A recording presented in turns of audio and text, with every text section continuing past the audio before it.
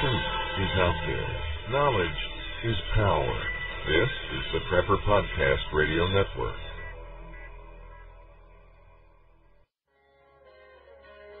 The new Be Prepared for Christmas package from Sun Ovens contains everything you need to harness the power of the sun for cooking, water, and dehydrating. The perfect gift for the preppers or outdoor enthusiast on your shopping list. A sun oven uses the sun's power to bake, boil, or steam food, heat water for purification or personal hygiene, or solar dehydrate. When you use the sun's power on sunny days, you preserve your fuel storage for rainy days. Sun-baked foods retain moisture, have less shrinkage, and do not burn. Sun-baked roasts are tastier and more succulent, and sun-baked bread has unparalleled taste and texture. The new Be Prepared for Christmas package lets you roast an 18-pound turkey. For the past 26 years, Sun Ovens has been proudly made in the U.S., are durable, and have a long life and come with a 100% satisfaction guarantee. Don't be fooled by cheap imitations. For a discount coupon, visit sunoven.com forward slash podcast. That's sunoven.com forward slash podcast. And with winter comes dangerous driving conditions. Get your vehicle ready for bad weather by getting it serviced as soon as possible. Prepare for emergencies by packing food, water, warm clothes, and weather appropriate shoes or boots. Don't forget to check the spare to make sure it's usable. Stay informed on bad weather, dangerous driving events by visiting prepperpodcast.com. When Christmas comes, you don't want your family to stare at an empty chair. Are you sick and tired of having your First Amendment harassed or censored on Facebook? Use no more as we now have a new alternative to Facebook. It's called Awareness Act. Awareness Act is a social network designed for patriots, to be used by patriots, and is ran by patriots. Stand up and help in the fight to protect your constitutional rights. Patriots can create pages, blogs, videos, documents, articles, and so much more. We even have a unique news feed system that allows you to share, read, or connect with any patriot on Awareness Act. We are a dedicated tool for patriots to use against the tyranny our Constitution is facing. So if you're tired of having your rights infringed upon, come check us out at www.awarenessact.com. Again, that is www.awarenessact.com, the social network for patriots, not potatoes.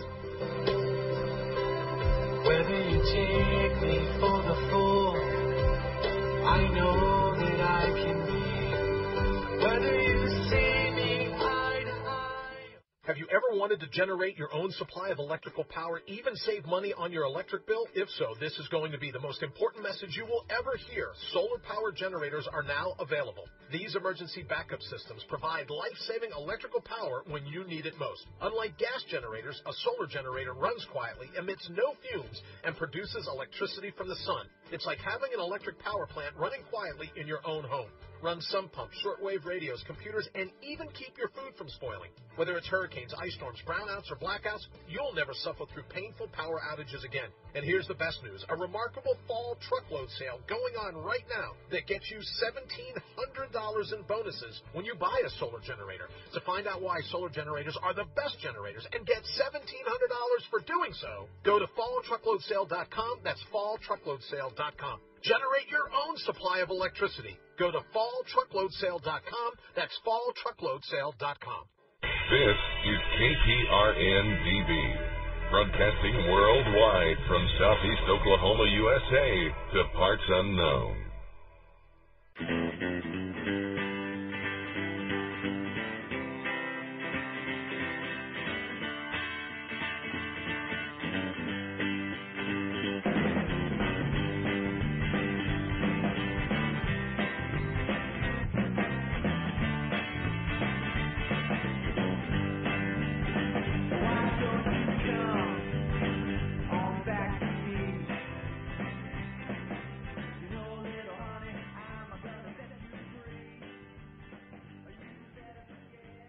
Coming to you from the foothills of the Sheep Mountain Range and under the watchful eye of Mount Charleston, 11,916 feet above the desert floor, I bring you Homestead Dividends, a podcast rooted in common sense and practical knowledge, where home improvement, homesteading, and self-reliance meet.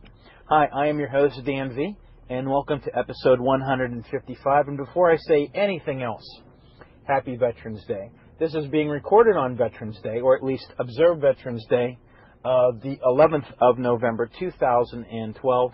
And um, I just wanted to say thank you to all of our veterans out there because freedom ain't free. And I know I'm an English teacher and I shouldn't use the word ain't, but I think you can understand my use of a pejorative term here.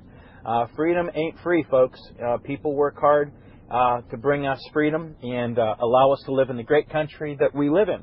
And so to them, I wanted to just say thank you for your service to our country. God bless you. And I'm actually kind of a military nerd in a way. Ever I see a person out and uh, they are um, and they're in uniform and I know or they have a hat on that says, you know, retired, one of those military hats, you know, that people like to wear. Thank you for your service to our country. I always tell them and interrupt what I'm doing. Thank them in the, you know, shopping malls. I thank them, you know, active duty. They're walking around a grocery store. I still stop and say thank you. And uh, maybe that comes off as a little corny to some people, but uh, I really mean it. Um, I remember as a boy uh, hearing stories about Vietnam and uh, the soldiers saying they came back and got spit on or were called baby killers and were never appreciated. Nobody ever said thank you. Uh, so I do.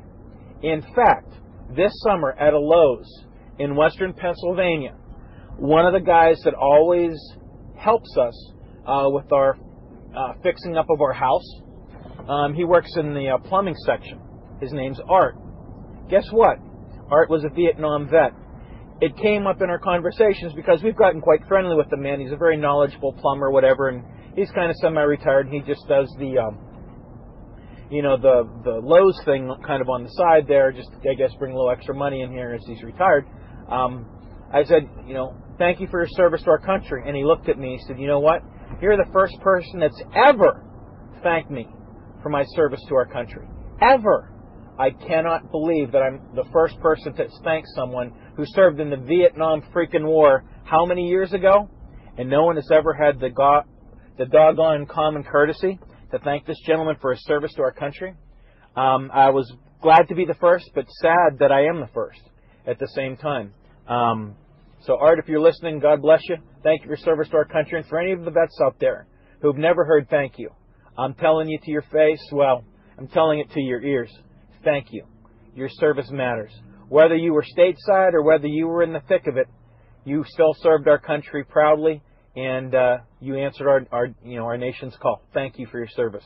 And for all of those women who are, well, there were women service people too, but all the wives and girlfriends who stayed behind, faithful and loyal to their spouses or, or loved ones, uh, to the moms who sent their sons off and daughters off, to all of you family members, thank you for your service to our country too, because when a person serves, a family serves too. Okay, well, you can probably hear in the background some car action here. Um, I am mobile podcasting today. Episode 155 is kind of a Veterans Day slash post-election um, show. It's a redo. My first show was strictly and solely on the election, and uh, I recorded it yesterday, and uh, it came across bitter. Uh, and I really didn't have a dog in the fight, and uh, but it just didn't come across right. I am a positive, happy podcaster uh, with a positive, happy message, and excuse me, I just didn't like how the message uh, came out. The reason I'm on the road today is I just got my blood work and my labs done. I have to uh, have some surgery done later this week, and so uh, today being off from work, I hate missing work, so uh, I got all my labs done today, and I didn't have to take off a day of work, so I'm happy and excited about that. I'll take off enough work with this doggone surgery. So, today, I wanted to talk with you guys first and foremost um, about Veterans Day, because even though that you'll hear this actually a few days after Veterans Day on uh, on this Friday, um, after I'm surgery after my surgery, when I'm going to be pretty numbed up and goofy, uh, so I probably wouldn't be a good time for me to give you a podcast. Might say something I regret. um, but uh, I still wanted to, you know, just honor honor our veterans. And to that extent, or to that end, please visit my home site, hdivs.com. Again, hdivs.com. If you go there, you'll notice that yesterday, in honor of Veterans Day, actually, uh, to actually Saturday. Let's put it this way: the previous Saturday, the, I believe, what is that? The 10th. Um, we were, or the 9th. We were at the uh, Thunderbirds Air Show in Las Vegas.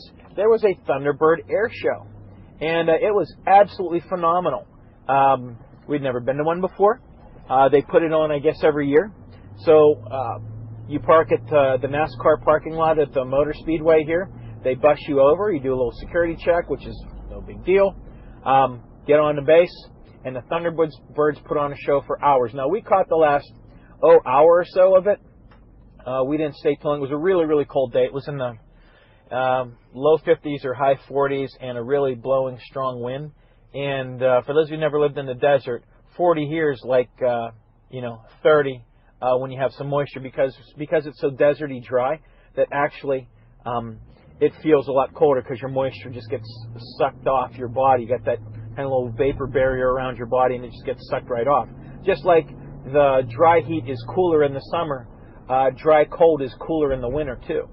And um, a lot of people don't realize that. And uh, but uh, but that is absolutely true. And the swimming pool here in the summer is much cooler than a swimming pool back east where you have that moisture barrier. And I can go into that some other time. But there are a lot of people that can talk about that. So we were over there. We saw the Thunderbirds. I have pictures of AWACS planes. I have pictures of refueling planes. Um, I just shot it with my iPhone. It's amateur video, so it is not impressive. But I just wanted to show you if you've never seen what a Thunderbird air show is like. I know I would have been interested if someone would have gone and said, "Oh, here's a couple minutes worth of video." Um, I I probably shot 20, 30 minutes worth of video. I edited it down to about five minutes worth of stuff. Some of it's great, some of it's not so great. I'm not the world's greatest editor of video. Uh, I do an audio podcast, so uh, you know. But if you want to check it out, it's on there. You can hear people talking in the background. I don't know how to edit any any of that stuff out. No big deal. Um, but I did. I edited it to a degree, and um, you know, it's about five minutes long. It's cool. You can see them do some tricks. But also, I don't have a zoom on an iPhone when it comes to uh, video. You can zoom a camera, but you can't really zoom a video camera. Um, so some of the things seem a little far away, but still, I think really cool stuff, really fascinating, and definitely worth a look. And I will take all the different clips uh, when I have the time and post them on my website or on my YouTube channel. And if you want to check that out, on the right hand side of my uh, website, hdivs.com, you can click on YouTube and you can check out some of my other videos. Uh, but the Thunderbird one is right on my uh, on in a blog in one of the different uh, submissions that I did, so it's right there like an article. Um, okay, well that take, kind of takes care of Veterans Day. That kind of takes care of uh, you know my Thunderbird experience this weekend, which is really cool. Let me talk about the election. Um, when I was at church the other day, my pastor said that uh, you know this was pretty much a status quo election, or that's how it's being termed. And I hadn't heard that in the news, but I don't disagree with him. Uh, status quo. Uh, we kept the same president, we kept the same Congress, and we kept the same Senate. The Senate and the presidency are held by the Democrats. The Republicans, um, they hold the uh, the Congress. And uh, I thought that that's kind of interesting way of looking at it, status quo you know, I think our government's broken, and I don't think necessarily good things are happening right now. So I don't think necessarily status quo is a good thing. Usually the status quo means everything's going fine, don't mess with it if it ain't broke. Um, it is broke, and I really wish things were fixed, but that's a you know another story. Now my candidate did not win. Uh, my candidate really didn't even run. My candidate was Ron Paul. And then in his place, I voted for the Libertarian candidate. So I did not vote for Mitt Romney. I did not vote for Barack Obama couple things. One, I think Barack Obama is a bad sign for our country. He's the president. I think he's a gimme president, and he's all about entitlements and uh, getting uh, you know everyone on the dole. And, and I know he's not physically trying to do that, but his policies allow people to continue to become enabled. And we want a country of workers, not takers. And I think that's sad. Two years of unemployment, lots of welfare. Um, welfare rolls are upwards, heading now towards 50 million. Um, one in five people's on Medicaid. Um, it's sad. It's very, very sad. And uh, our country is becoming a, you know, a welfare state. And I don't think that bodes well for our country. And I don't know if we can go back. This might be the tipping point. This might be the point of no return. Um, but even so, there are many things that we can do as preppers um, that are positive. positive, and I want to talk about that because I don't believe in just complaining. As I said, my previous podcast was too negative. I want to talk about some of the positives that can come out of this election. First of all, the election results are a referendum on prepping. Um, because of the situation and the way that I believe our economy and our society is going, what better time to be a prepper than now? Um, you need to be preparing for hard times ahead because I think they are coming. I see a semi or mild to moderate to extreme economic collapse in our future. I see our dollar going lower. I see interest rates eventually going higher and uh, I see our credit rating taking a plummet. So all these things tell me that being prepping, uh, being a prepper is the right thing to do. Uh, a couple things along that line, and I'm just going to take a small tangent here and jump off for a second. Think about what's going on with Sandy. We're almost two weeks out now from uh, Hurricane Sandy, and New York is still a disaster. They're rationing gas, water, clo- clean clothing, food, heat, light are all issues. There's still people without light. There's still people without heat. It's snowy. It's cold. It's wet. It's damp. It's depressing. It's miserable. People are angry. People are protesting. Folks, this is New York City. This is the most important city if you want to look at it that way, and I don't. But you know, it's the city in the United States, and it isn't back on its feet yet. And people still can't get it together. And that's New York. That supposedly is everything and is the greatest this and the greatest that and you know the greatest everything in the world. Just ask them New Yorker; they'll tell you how great it is. But anyway, so you know, New York, the greatest of everything, and uh, you know, it's still a nightmare. Okay, this wasn't a nuclear war. This wasn't an EMP. Uh, this wasn't you know some ridiculous paranoid schizophrenic you know uh, tinfoil hat conspiracy theory. This really happened. This is real people, real time, real emergency. So what's that mean? Prepping is real. It ha- it happens. It deals with real situations, and we need to be prepping because it's going to happen to us. A hurricane may not hit Nevada, but you know what? An earthquake might, or some other kind of flood, or some kind of fire, or some kind of drought, or whatever it is, some kind of a you know disease, a pandemic. Um, some it could be you know countries. There are people that you know there are wars, civil wars, civil unrest whatever it is, some emergency is going to face you in your lifetime. Even if it's just a blizzard and your lights go out, or an ice storm and your lights go out for a week or three days. All those things can be benefited from prepping, or you can benefit from prepping. Having water, hot water, hot food, having light, having warmth, having comfort, having safety, all of those things benefit. Gun sales are through the roof right now after the president was reelected. Gee, I wonder why. People are preppers and they're taking matters into their own hands. No, I don't mean forming vigilante posses, but what they're doing is saying, you know what? I need to prepare for the future because I don't know what's going to happen. The president does not like guns, would like to see an assault weapon ban. It was mentioned and it's been floated several times the idea of assault weapon bans. Go get them now. If you want to get a weapon, go get them now because if they become banned, um, you know, they may retroactively come after your guns or they may just stop selling them, which means the guns that private owners have are going to be worth more. Um, I don't even know if you'll be able to transfer them from one private citizen to another. But um, if so, they're going to be expensive and pricey. And in any case, you know, assault weapons like an SKS or an AK or an HK or a AR-15 or whatever, they're all going to be worth more money, aren't they? So, um, if you're going to thinking about getting one, get one now, uh, because it ain't going to get any easier to get a firearm in the next four years. So that would be my first thing. Um, so I kind of just jumped off for a second talking about the craziness in uh, New York and New Jersey. Just remember, folks, emergencies really happen. That's why we do this. I am not waiting for Red Dawn, you know, uh, apocalyptic, uh, you know, craziness. I'm worried about, okay, there's a snowstorm, there's a fire, you know, uh, bad fire, there's electrical outage, okay, there's something happened, there's some kind of a terrorist incident, whatever.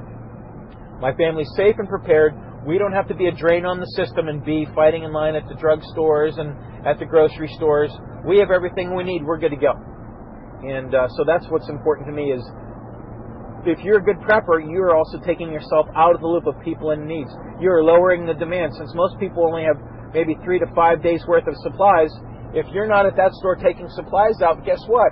You're helping it. You're helping your neighbor indirectly because you're not taking those resources off the shelves. You already have them and you're paying less for them too because occasionally, you know, they'll jack up the prices during an emergency. So you're being a patriotic American by being a prepper. Okay, so some presidential positives. It's a referendum on prepping, as I mentioned, and that can help us to be successful. The next thing I wanted to mention is financial. If you, um, I do not think the economy is great. I don't think it's going to get great, and I think that uh, the stock market is not going to do well the next four years. This is my opinion. This is not professional advice. Go see your own people. Um, I am not a professional uh, advisor. Um, here's what I think. I think the I think that the bill is going to come due, and I think that our economy is going to collapse. I think our dollar will continue to go down in value. It has it has always gone down in value. Why wouldn't it continue to do so in these hard economic times? What does that mean? I would be buying gold and silver. If you buy gold and silver or real assets, um, you may be in a position to have a real economic uh, windfall here in the future. And here's what I mean. Let's just say over the next four years, and this is extreme, but I'm just going to make the case. Say you have $100,000 in gold and silver. I don't think they're going to go up astronomically in value. But I think the price of, or the value of the currency might astronomically go down in value. Meaning, let's say our dollar buys half as much gold in four years as it does now. That means a $100,000 investment in gold now would buy $200,000, where the gold that you bought now, or silver, will be worth twice what it, you bought it for now. Okay. If the economy goes bad also, um, that usually means that uh, the housing market um, in big ticket items, the value goes down. So let's say that we go into a recession and a home uh, goes down dramatically in value. Let's give you an example. Uh, let's say a $400,000 home or ranch or whatever farm um, in four years is worth $200,000 because we're in a dire economic collapse and there's everyone's hard up for money or hard assets and there's you know not a lot of money floating around. The economy collapses. Okay. Now let's think back to that $100,000 you have in gold and silver. Let's say again that uh, your value of uh, your gold doubles because it doesn't go up really in value, but the value of the currency is the value. So let's say your $100,000 worth of gold um, that you bought is now worth $200,000 because the value of the US dollar has got cut in half. Now take that $400,000 farm, and because of the economic collapse, it's only selling for $200,000. Guess what? You now have can buy with $100,000 worth of gold that you bought four years ago, a $400,000 farmer house, which is now selling for $200,000. And all because you were wise about holding on to hard currency. You see where I'm going with this, folks? There are ways to benefit from being a prepper. And I think that is an absolutely wonderful way to do it.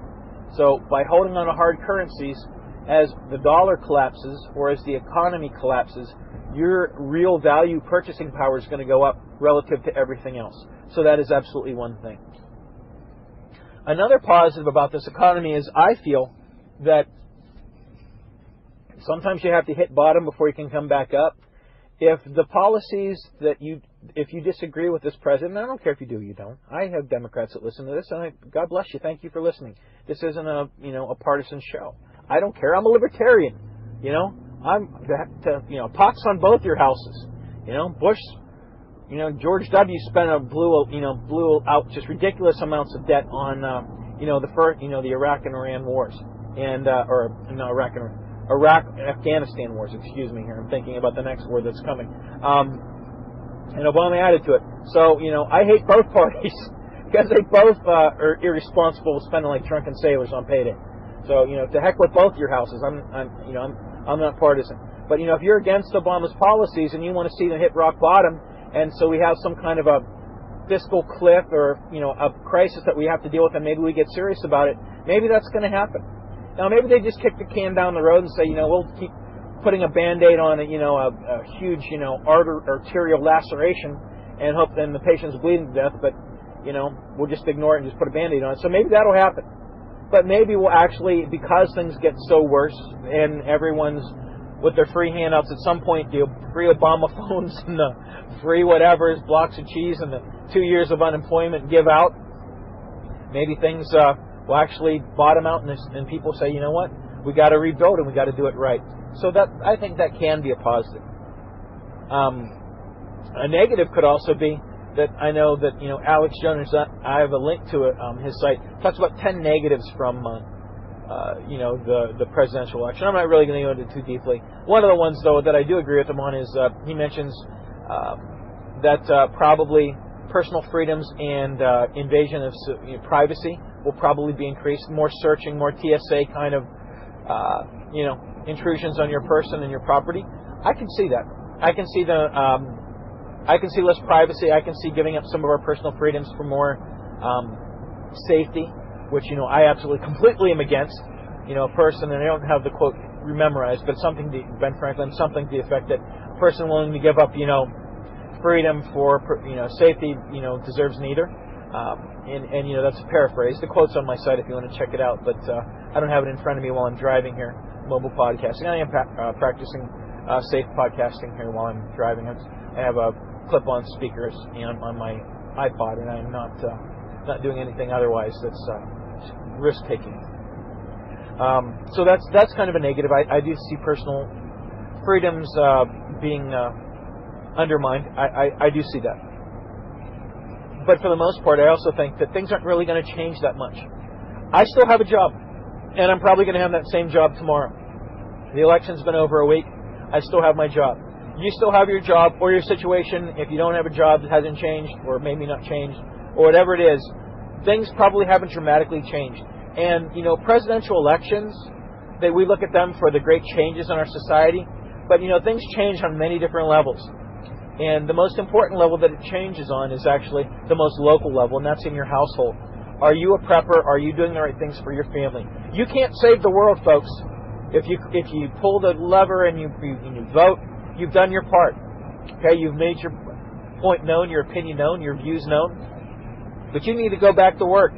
You need to go back to the store, or go back to the office, or go back to the school like me, or you know, go back to the work site, job site, building, whatever it is you're doing, uh, the home, and keep doing what you're doing. Because you know what? You're going to have to live your life no matter who's president, and that hasn't changed.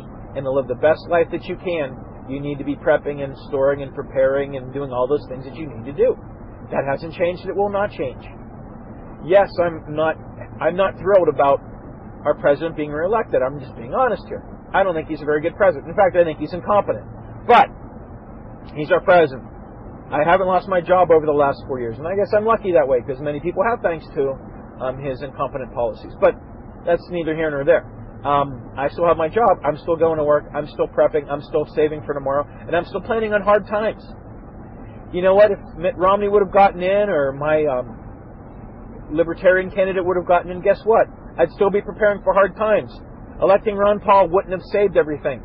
Um, electing the Libertarian from New Mexico that I voted for wouldn't have, uh, you know, changed hard times coming down the road. They're still coming. Uh, emergencies still happen. Disasters still happen. Uh, depressions still happen. So not that much has really changed in your own personal life. But what I want you to do is think about some changes in your personal life. You've made an election choice. What do you need to do in your personal life to prepare for the next four years? Make a list of things, goals, outcomes, um, items that you want to have, build towards, long term goals, whatever it is. Come up with lists and plans for how you're going to attack this next four years and what you need to do to be the best prepared, best prep person and be the best prepper you can be. And the best father or wife, husband, mom, whatever. You need to be focusing on all that right now and preparing for these next four years. You know, sometimes failure brings a lot of clarity. And for those of you who are depressed today, and first of all, congratulations to those of you if you're candidate one, good for you. Um, you know, it brings clarity though in, in defeat. Sometimes I hope we learn from our mistakes or our failures. And if we ran this candidate and we considered him a failure, and you consider him a failure, I'm not really Republican, um, learn from it. I'll tell you a couple things. I'm not a Republican, but I'll give you guys some advice today. One, stop uh, nominating liberals from the Northeast. Okay, um, Mitt Romney is essentially a liberal from the Northeast. He didn't win. Democrats nominated Michael Dukakis, a liberal from the Northeast. He didn't win, um, and especially the Republican Party. Um, why do you even care about New Hampshire? You need to push up the important primaries and have those guys decide who the, who your nominee is. Okay, asking a bunch of liberals in New England which liberal uh, Republican they want when their state's going to go for the liberal Democrat anyway is irrelevant and stupid. Stop it. Okay? The primary sh- should be held early in Ohio, um, Florida, bellwether states that are relevant and important. Let those guys determine who they want to vote for. Um, because you know what? Massachusetts and New Hampshire and Vermont and those New England primaries, who cares what they want? They're irrelevant to the Republican Party. Um, so Republicans, stop going to the, having these ridiculous early primary things and stop letting them pick your people. Second thing is, and this is just me, and this probably sounds a little racist or horrible, but you know what? I like someone from the South or the Midwest. I don't like Northeasterners um, for my presidential candidates. I like people with a Texas twang or a little bit of a Southern accent. They seem a little bit rooted. They're, I trust them. I don't like these northeastern liberals slash Republicans. Um, I like Bubba's. I got to admit it, I do. I like a Republican that likes guns, likes to go hunting, likes pickup trucks, likes dirt under his toes. Okay, he's real. Okay, Mitt Romney was about as fake as a three dollar bill. Okay, he was a fabulous little CEO, kind of New York liberal, Northeast kind of type guy. I know he's from Boston and originally from Mich- Michigan, but you get my point. Kind of that effeminate, you know, executive, manicured, pretty hair, pretty boy type. I don't like those kind of people. I don't trust them. Okay? I don't like those kind of, you know, well-made, fancy dressed, you know, executives. I want a guy that knows the NRA and knows how to hunt for ducks and quail and, and you know, owns a Wingmaster or a Remington 870 and, you know, um, you know, he's a regular guy. Has a pickup truck. I drive a Suburban. What do you want? Okay? I'm a regular guy. Okay? Uh, and you know, I respect those people. So stop, stop nominating those guys, and I think you'll do much better. If you keep nominating these kind of soft guys, and even soft guys from other places, John McCain was a soft guy. He didn't really, he wasn't really strong. Um, I thank him for his service to our country. He was a great war veteran, but he was kind of a soft, mealy mouth, moderate. Go strong, guys. Go with someone who is strong and has conviction. Someone who's just kind of, well, he's kind of liberal, but he's kind of conservative, and he's kind of this, but he's kind of that. I don't buy that and I can't vote for someone like that. If you'd have voted for and had nominated someone stronger, um, I would have voted for him. You know, Rick Perry sounded like an idiot after his back issues and, and the meds he was on, but I liked Rick Perry, and I would have voted for Rick Perry over probably even a libertarian. Um, but Romney, he had issues. He was anti-gun and anti-coal plants in Boston and blah blah blah blah blah.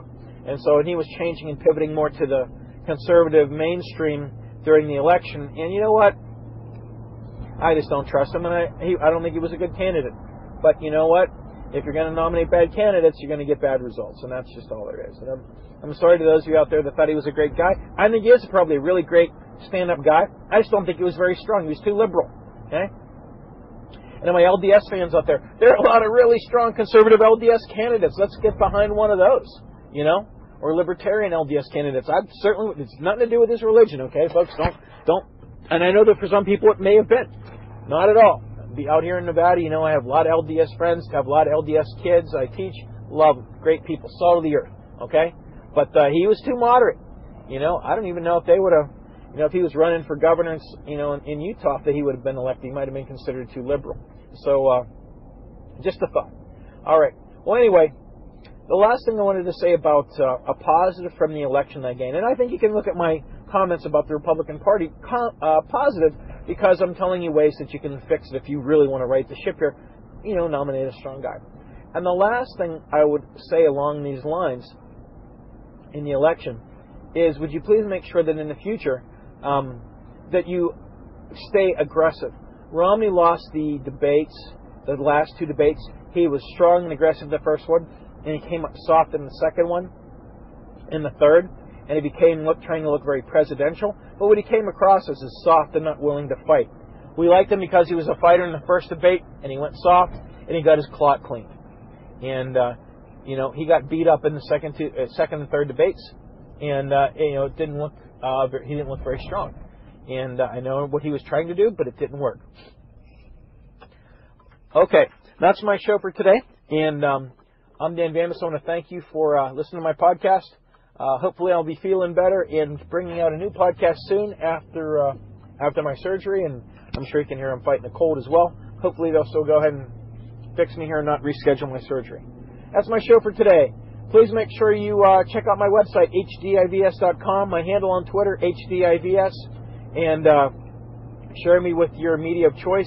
If you like your, my podcasts, go to my website where it says subscribe via iTunes, and uh, my webpage or my page on iTunes will pop up. Click subscribe for free, and you're getting all my podcasts now for free. Thanks for listening to my show.